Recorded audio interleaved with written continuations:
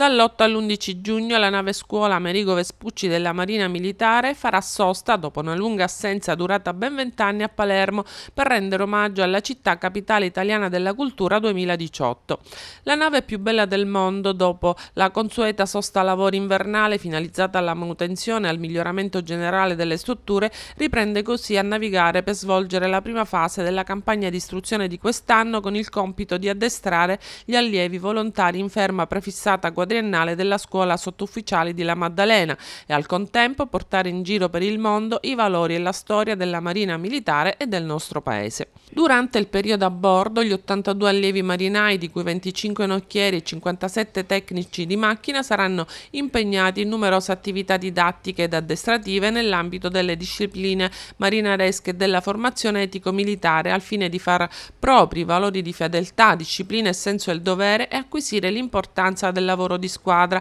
che caratterizza ogni marinaio nell'assolvimento dei compiti della forza armata al servizio della collettività.